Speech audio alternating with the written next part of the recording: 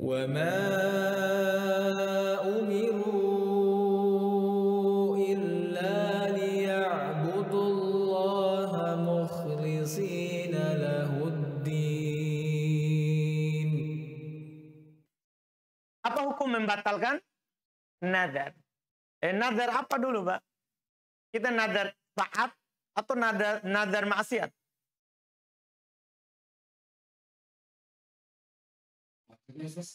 Kita nadarnya nadar ketaatan. Maksudnya kalau saya begini saya akan puasa. Kalau saya begini saya akan sholat. Taat. Baik. Kalau nadar, nad, nadar terkait dengan ketaatan, wajib kita lakukan. Itu pada dasarnya. Kata Nabi SAW, Man nadaru ayyuti Allah fal yuti'hu.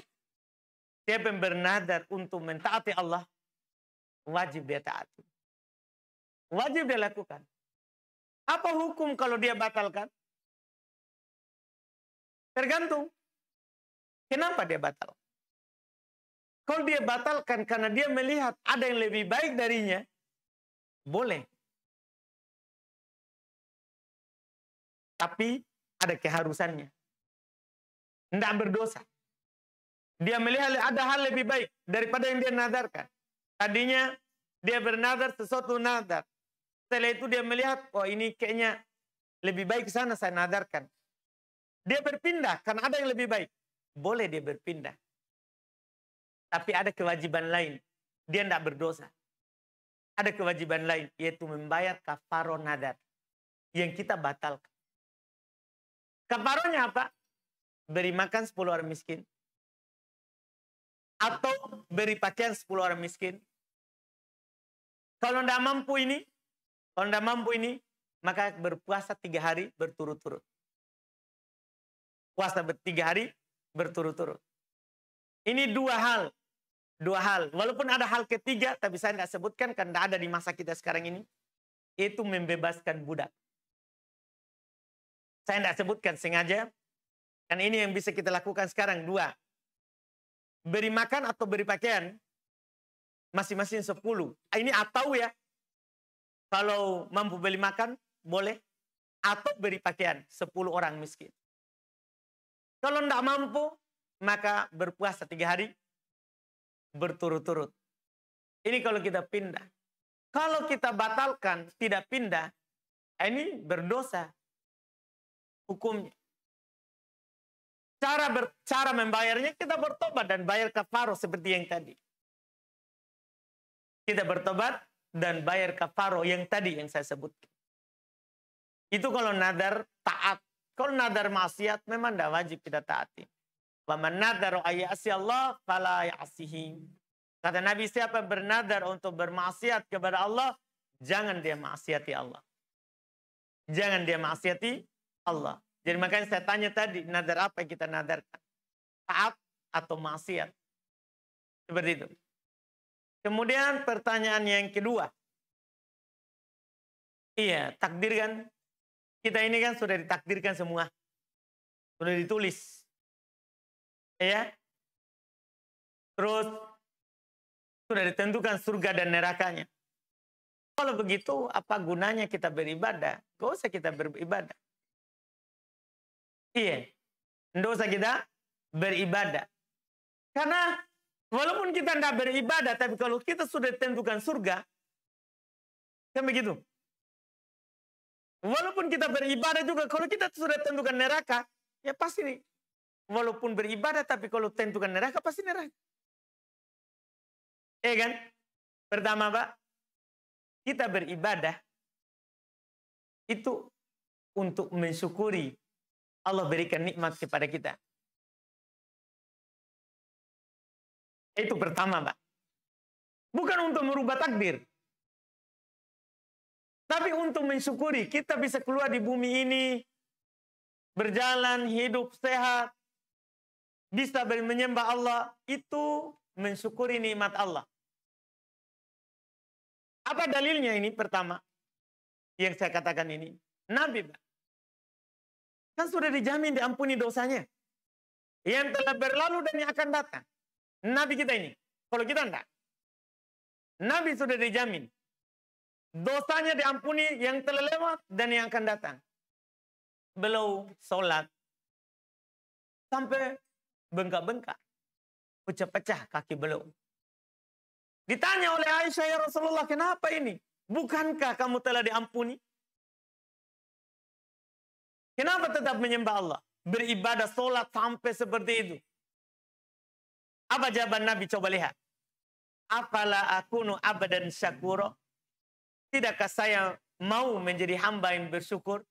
Ya kita beribadah itu itulah bentuk kesyukuran kita kepada Allah. Bukan karena kita mau merubah takdir kita. Itu yang pertama, Pak. Itu yang pertama. Yang kedua, yang kedua, Pak. Ini juga ditanyakan, dikatakan oleh para sahabat. Ketika Nabi jelaskan bahwa seluruh kalian sudah ditulis rezekinya, ajalnya, dia bahagia atau sengsara. Surga atau neraka. Para sahabat apalah natakil tidakkah kita bertawakal saja? Artinya duduk-duduk saja. Tunggu takdir kita. Kata Nabi SAW kepada para sahabat, I'malu kullun muyassarun lima huliqolah. Karena kita ini tidak tahu takdir tak apa.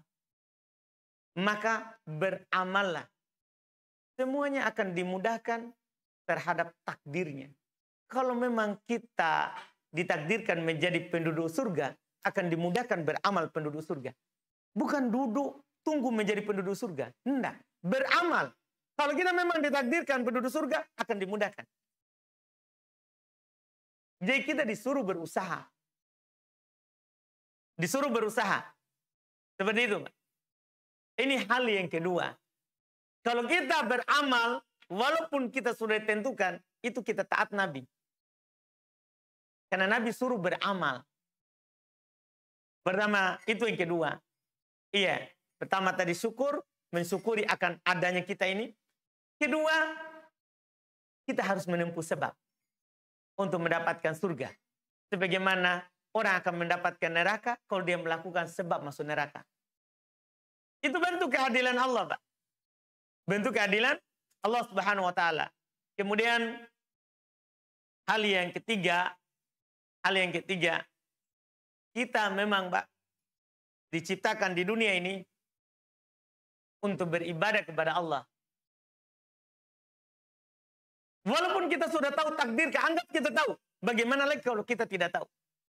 Memang kita diciptakan, dikeluarkan di muka bumi ini, di dalam perut saja kita sudah ditanya.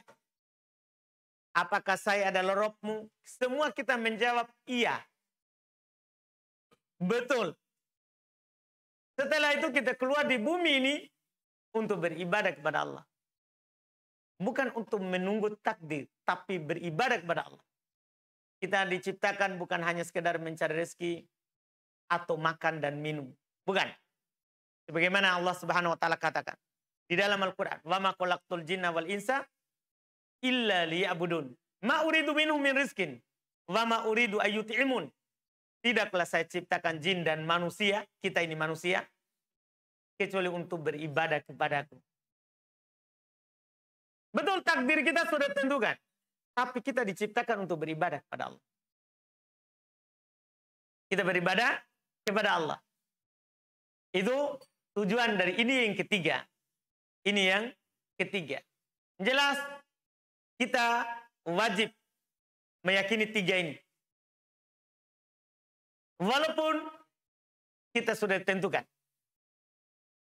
Tapi kan setiap dari kita tidak tahu apa yang ditentukan. Maka kita berusaha mendapatkan yang terbaik yang ditentukan untuk kita. Bukan pasrah. Bukan pasrah. Karena kita ini eh, mudah-mudahan bisa dipahami. Karena di sana ada orang yang salah paham. Ada yang mengatakan kita ini eh, mukoyar. Diberikan pilihan, silakan berbuat. Kalau mau pilih penduduk jadi surga, ya beramal surga. Kalau mau neraka, silakan beramal neraka. Kamu memilih sendiri. Ada golongan lagi, ini ujung pertama. Ini ujung yang bermudahan. Silakan tentukan sendiri takdirmu. Ini bahaya ini. Karena ujung-ujungnya nanti apa yang kita lakukan itu bukan ciptaan Allah. Ujung yang kedua, yang ekstrim lagi adalah lawan dari itu tadi. Iya. Kalau tadi dia pilih sendiri. Perbuatannya ini itu dia yang buat, bukan Allah. Bukan Allah. Ujung yang kedua, enggak. Dia tunggu ketentuan Allah. Dia enggak berbuat. Apa-apa. Iya. Atau apa yang dia perbuat, mau kafir ataupun beriman, itu adalah